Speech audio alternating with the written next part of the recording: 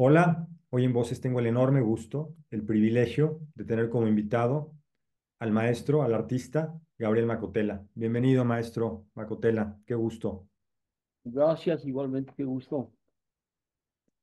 Muchas gracias, maestro. Pues ayer estaba eh, leyendo algo de su nueva exhibición y recordé un- una cita de Oscar Wilde. Como no tenía nada que hacer, me puse a trabajar. Qué bonito, ¿no? Sí. Pues igual me pasó un poco porque, bueno, no, no igual. Pero pues acostado en la cama no me quedaba más que dibujar, ¿verdad? No me podía mover y pues afortunadamente tuve el, el dibujo es, bueno, el dibujo es una belleza para mí siempre ha sido, es- lo hago siempre y, y es, para mí es todo el dibujo, ¿no? Ahí, ahí está, haberte escuchado que usted pudo o le hubiera gustado ser muchas cosas, entre ellas marinero, pero también arquitecto. Y podemos hablar de... músico también, ¿Y qué, perdón? ¿Qué más? músico. Músico, claro. Y que el dibujo finalmente se puede hablar de que es el cimiento eh, o los cimientos o la estructura de una construcción, ¿no? Es, es así de, Claro, de sólido, ¿no? Eh, a veces no se ve dentro de la pintura, pero si no está, se pudiera caer, ¿no? Sí, exactamente. Y esta exposición que se inaugura en Acapulco 62, que se inauguró el, pasado fin de semana, son 51 dibujos en distintas técnicas. Eh, exploró nuevas, eh, nuevos materiales eh, para esta exposición. Eh, ¿qué nos puede contar de la exposición y de este bloque de, de obra en torno a su experiencia dibujística? Pues bueno, para empezar, el dibujo tú lo sabes, tú eres dibujante. Pues me creo ahora sí que, por ejemplo, nunca había dibujado con Prismacolor, ¿no? Lápices de colores. Y me encantó, ¿no? Descubrí cosas increíbles, que de- sobre todo de colores, ¿no? Y texturas que se da con los lápices de colores, ¿no? Eso Y bueno, obviamente carbón, tú lo sabes, eh, pluma atómica, todo lo que se puede, con lo que se puede dibujar, ¿no? Eh, Grafitos, en fin, ¿no? Eh, yo crecí con la enseñanza de Aceves Navarro, que sus alumnos nos ponía a dibujar como, pues como locos, ¿no? Él, él fue muy obsesivo en el dibujo. Y pues aprendí, ahora sí que ha costado descubrir diferentes papeles, lápices y, y para el dibujo, ¿no? Y, y también descubrí que cada técnica de cada lápiz te hace hacer cosas diferentes de alguna manera, ¿no? Las temáticas pues son las mismas de siempre que he tenido en mi vida como pintor, naturalezas muertas, paisajes, barcos, este, construcciones. Yo soy un poco, bueno, creo ser, mi trabajo está derivado un poco del, entre el cubismo, constructivismo, desconstructivismo, este, es un abstracto que no es totalmente abstracto, es un abstracto figurativo, si se puede decir, ¿no? No sé si sea una contradicción, pero es eso, ¿no? Figuras humanas que aparecen, ¿no? De todos los paisajes, de las ciudades, de las construcciones, de, de- siempre ap- aparecen perfiles de figuras, ¿no? Ese ha sido mi trabajo, pues durante 50 años de, que llevo trabajando, ¿no? ¿Qué, qué tan grande era la caja de, de colores, de lápices de color que Ay, me compré, nunca he tenido tantos lápices, no cajas y cajas, sí. amplia gama cromática? ¿Eh? De una amplia gama cromática, o Sí, sea, uno- una amplia. Ahora, obviamente, yo no soy muy colorista en mi obra, soy muy, muy monocromático, entonces, bueno, siempre persiste uno en, en- en determinados colores, siempre neciamente. No soy mucho de colores brillantes, ¿no? Tiendo mucho a los grises, y este, pero sí me hizo usar colores que, que no había usado por las mismas temáticas, ¿no? Entonces, eso, pues es padrísimo, ¿no? Y luego pues acostado, este, lo pone uno a pensar más, a- o tiene uno más tiempo, ¿no? De, de pensar y de estudiar, ¿no? Porque de alguna manera es como estudiar también, ¿no? Y hoy, hoy me vestí de gris y el, el set está todo en grises para estar sintonizado con, con los grises de Macotela. Pero en estos dibujos que exhibe ahora en Acapulco 62, vi una sutileza y una riqueza eh, cromática muy particular desde estos lápices de color, aunque no son colores brillantes, pero sí, sí hay una riqueza y una sutileza eh, cromática, una, una, una gama muy amplia, ¿no? Eh, dentro de muchos de estos dibujos que se puede percibir desde el material, pero también desde la finura, desde el color, eh, que me pareció muy, eh, que me gustó mucho. Pues sí, yo me gusta a mí mucho matizar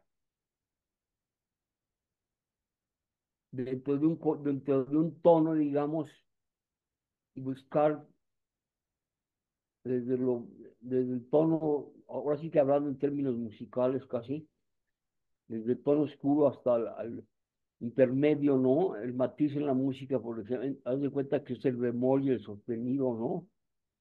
De, un color. Mm, también pertenezco culturalmente a ese tipo de cromática en, en el color, porque estuve un tiempo en Barcelona, conocí mucho la, una parte de la pintura catalana y bueno, obviamente la mexicana, pero mm,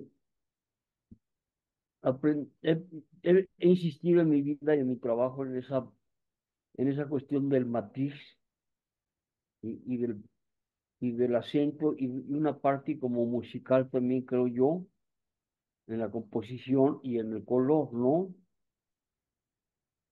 Porque también en la música de cuenta que oigo músicos que, que son un poco así, de esa manera, ¿no? Este, yo estudié, bueno, luego me fui tiempo a Nueva York y también me influenció mucho parte de la pintura norteamericana, pero más que nada la europea o los abstractos de Nueva York, ¿no? La escuela famosa de Nueva York, de, a los abstractos, ¿no? De William de Kooning y todos ellos, ¿no? Achille Gorky, Rothko, pues, pero siempre he tendido a, ese tipo de cromatismo, ¿no? Me encanta. Y, y bueno, es lo que sigo haciendo, ¿no?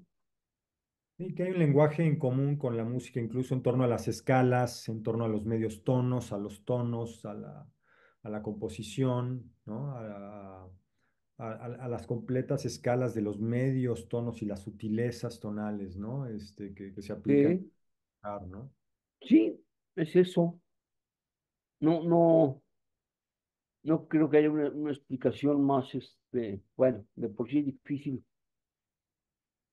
eh, expresarlo, digamos, ¿no? Porque trata de lo abstracto que es el, el, el, el color y, y, y, y lo que significa y lo que es, ¿no?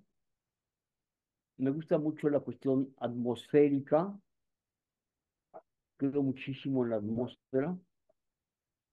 Para mí es a veces más importante que a, a través del, del dibujo y de los tonos y planos y grises y la luz, y- pero la atmósfera es para mí muy esencial.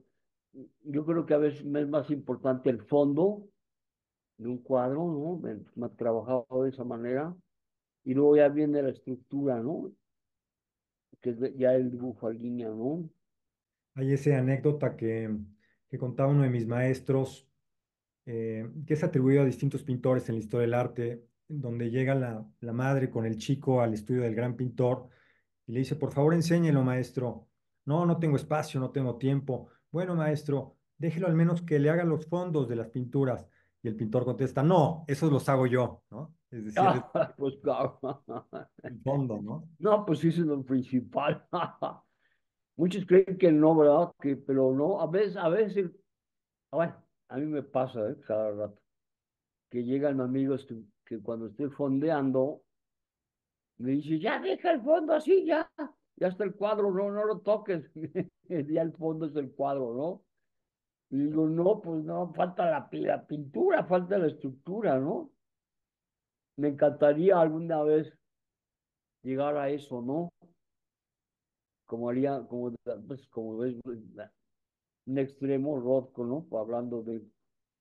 Pero yo creo mucho en, en esa atmósfera. Ahí también creo que lo aprendí también de hacer Navarro y de y viendo a Tamayo o, a Gerso, eh, que también pues, son gente que creía mucho en los fondos, ¿no? Sí, y es un lenguaje al, final del día pictórico, sea uno abstracto, sea figurativo, llegue al abstracto desde la figuración o a la figuración desde el abstracto. Hay un lenguaje en común desde el pintor. Eh, ¿Qué tanto se está perdiendo ese lenguaje y, ese, esa posibilidad de, dialogar desde ese lenguaje en común? No, no sé, no creo. No creo porque, ay, pues imagínate, eh, la cantidad en el mundo de pintores que hay, ¿no? Muchos siguen creyendo en esto, absolutamente. Yo, es más, yo creo que se está regresando un poco la pintura después de un poco el exceso del arte conceptual, ¿no? Contemporáneo. Bueno, yo creo que sigue siendo, no sé, yo, no veo, veo mucho pintura eh, española, europea, norteamericana, nórdica, eh, se sigue creyendo en eso, no, no me atrevo a decir que, que estoy o perdiendo, si no sé. Usted habla mucho de su maestro, de, bueno, de sus maestros. Eh, menciona mucho al maestro César Navarro, quien eh, le inculcó eh, este gusto, o bueno, ni siquiera que le ha inculcado, pero con el, con el cual practicaba mucho del dibujo, ¿no? Porque insistía mucho en ello, ¿no? Sí. Y esa práctica eh, en torno al dibujo, a la formación, al, al quehacer, eh, eh, ¿usted considera, ve que sigue vigente en ese entusiasmo de, de dibujar? Sí y no. Porque, bueno, estoy en contacto con, he dado clases, talleres a jóvenes. Y si hay una crisis de alguna manera en las escuelas de arte de los estudiantes, creo, ¿no? De, de, no usar las manos. Ya, ya déjate de pintar y dibujar, pero ha sido, ha sido muy contundente la, el avallazamiento de estos nuevos medios de, arte digital, ¿no? Y de todo eso. Obviamente, pues sí, han, han, han devastado un poco el, el quehacer manual, ¿no? Del, del, bueno, del pintor, ¿no? A, lo mejor a mí, o, o, o, ellos o los jóvenes nos ven a veces como, pues ya como clásicos, como si perteneciéramos a, a la época de, hablando de Rembrandt, ¿no? De cuando se dibujaba la modelo y eso, ¿no? Yo, yo soy fanático de la pintura, ¿no? Y del dibujo. O, la pintura, o pintura, dibujo, o, dibujo, pintura, o como se llame, ¿no? Y de la materia, ¿no? Y del material yo no concibo mi vida sin, sin un pincel, ¿no? Y un lápiz, ¿no? No, no, no la consigo, no sé hacer otra cosa. Hago escultura, que me encanta la escultura, lástima que sea tan difícil y cara hacerla, ¿no? Pero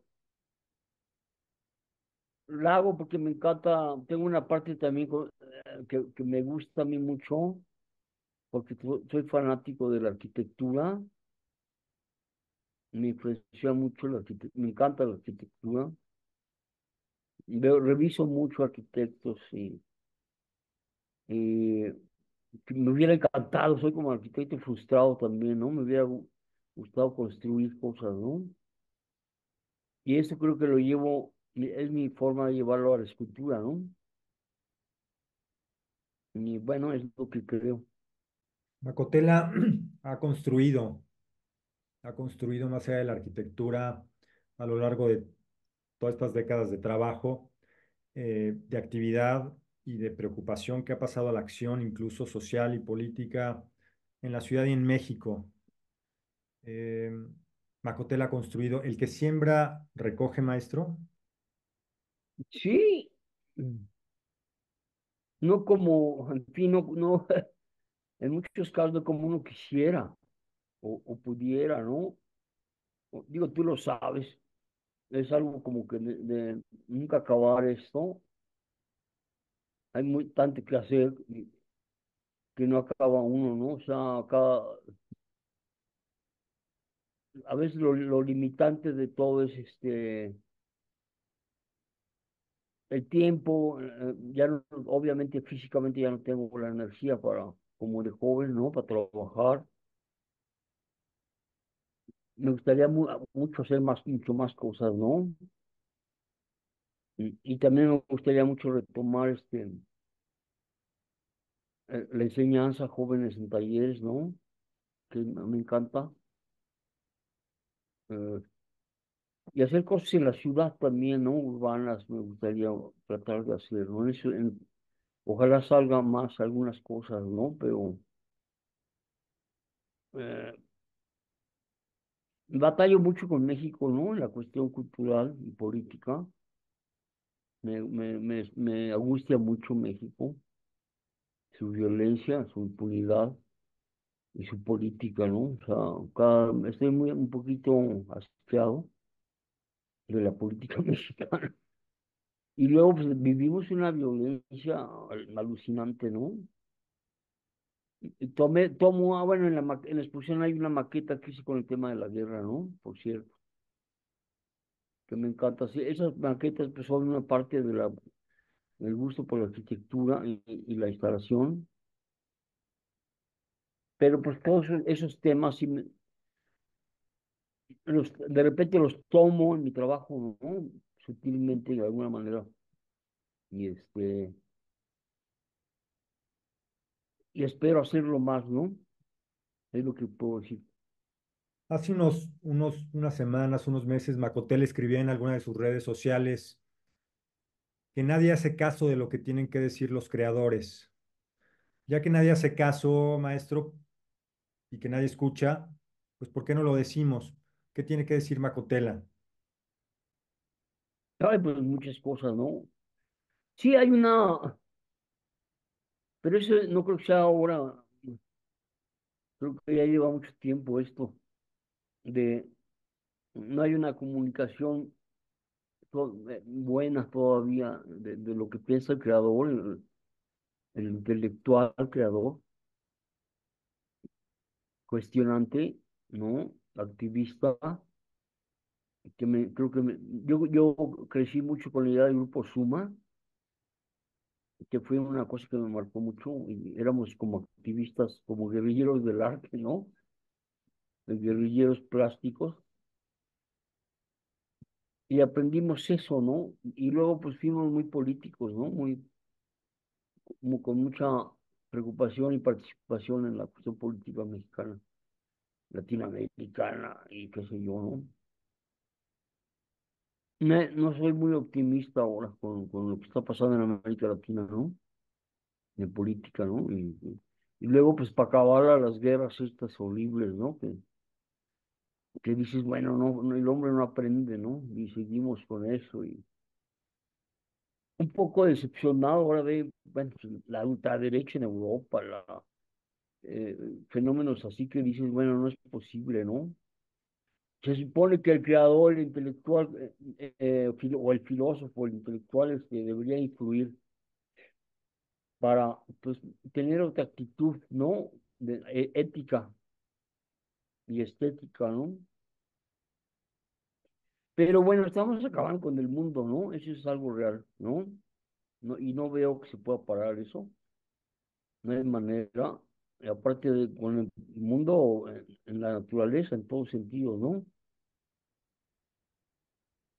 Las ideologías también se han de- desvanecido, ¿no? Desdibujado. Del dibujado, ahora sí que del dibujado, del dibujo. Y, y todo ha sido una, pues esta moder, disque modernidad, ¿no? Y que está aplastando todo y, y acabando con todo y no, y no nos damos cuenta y eh, también pues hay una crisis muy grande, obviamente, del humanismo, ¿no? Que se supone que pues parece, en eso estamos los, los pintores, ¿no? Escritores, poetas, músicos, creo. Y decía Sábato hace años, hace décadas, que la, que la única vía, la única solución era el arte. Sí. Y sin embargo, el arte, al parecer, lo están convirtiendo o lo han convertido o lo quieren convertir en no sé qué cosa, ¿no? Desde esta redefinición que deja fuera mucho de lo que nos comparte. Sí, estoy de acuerdísimo. Pues no, sí, es lo que te puedo decir. Y, y que, vi- que vi- viene también, maestro, además de la, de la exposición que tiene ahora en Acapulco 62 y dos y que estará durante el mes de julio eh, y que invitamos a que la visiten. Es un, es una oportunidad, no nada más de conocer el trabajo reciente de Macotela, sino de eh, ver una buena exposición de dibujo que poco vemos, que poco se exhibe, ¿no? Y que tan necesaria y tan deleitable eh, resulta. Me parece que también va a tener una exhibición en el Seminario de Cultura y ahora tiene también Sí, Museo de Sonora, ¿verdad? sí, bueno, ah, pero ahí más bien es una, bueno, una retrospectiva de 50 años de, de trabajo y de 70 años de edad. Y bueno, pues hago una como recopilación de mi trabajo de 50 años, pintura, dibujo, grabado, escultura, todo. Mis perritos están aquí. Eh, desde que empecé como pintor de estudiante hasta, hasta el último que he hecho, es pues una revisión por eso, ¿no? Y, y bueno, y también me, me, me puse a, a buscar, gracias a amigos coleccionistas que han tenido cosas mías desde que empecé, desde muy joven. Empecé muy joven, escuela, y pues eh, estoy ahorita organizándola eh, y con la ayuda de todos ellos y del seminario y de Felipe Leal, su director, ¿no? Que él también me coleccionó, también tiene obra mía, y él, va a ser el curador, ¿no? Y Rogelio Cuellar, fotógrafo, que también él, él ha guardado cosas mías de, desde joven, y, y él me ha fotografiado ya a mí, bueno, ya a muchos artistas de todo México, ¿no? Pero, pues, juntando todo eso, que tengo mucha emoción de verlo junto, ¿no? Claro. cómo se ve, y, y, y- y va a haber escultura, maquetas también. Hice una maqueta con el tema de la contaminación, precisamente, de las fábricas petroleras, químicas, mineras, y con un tren que da vuelta, que se llama el tren La Bestia, y que también toca el tema de los migrantes, to- tomo el tema de los desaparecidos también, entre, los, entre lo que hago de pintura. eh, y pues una como reflexión de todo eso, punto, ¿no?